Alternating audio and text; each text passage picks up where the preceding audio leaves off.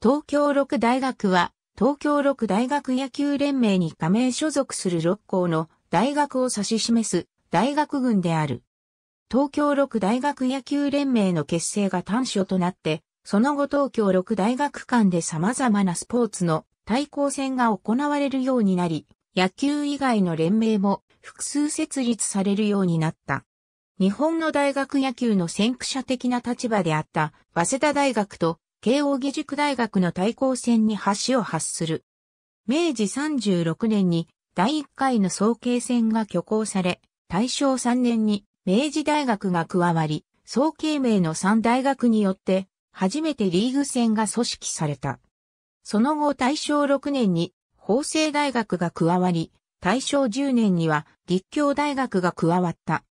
6校目の参加大学として1925年秋に東京帝国大学の加盟が決定し、組織化が行われて、東京六大学野球連盟が発足し、総計戦も19年ぶりに再開された。各して東京六大学は誕生した。この対抗戦としての東京六大学野球の存在は、自流とともに大衆娯楽、文化としての野球競技の人気を一般に浸透させ、また、第二次世界大戦後にプロ野球の人気が高まるまで、日本国内における野球競技での指導的立場も兼務した。プロ野球の人気が高まるまでは、野球といえば六大学、六大学といえば、野球という時期があったことも当時の新聞などから伺える。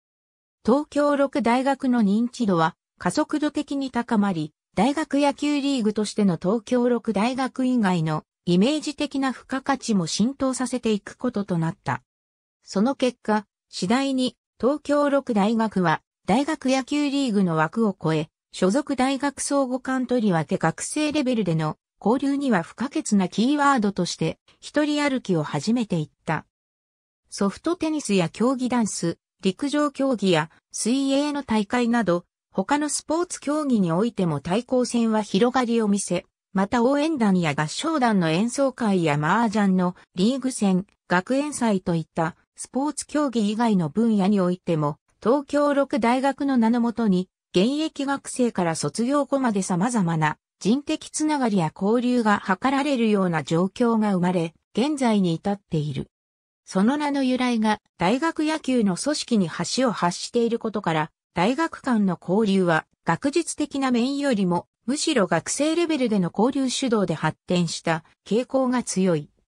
学術的な面を前提としたものや、その他の一般的な大学群を区別する名称は他にも存在するが、東京六大学の場合は野球人気の影響もあって、日本において特に認知度の高い名称となっている。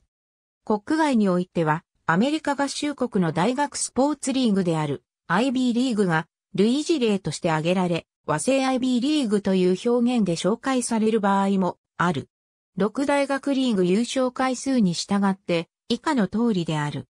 野球の他にも東京六大学間で連盟を組み、互いに協力し、大学、学生間の交流活動を行っている連盟がある。団体名称に東京六大学を関していても構成校がこの記事で記載されている六校以外の場合も一部には存在する。東京六大学間で連盟を組んでいなくても、大学、学生、卒業者間で交流している大会がある。各大学の体育会競技部などによる公式的な大会の一覧。各大学の学生や団体が自主的に運営している大会の一覧。東京六大学の卒業者が運営している大会の一覧。ありがとうございます。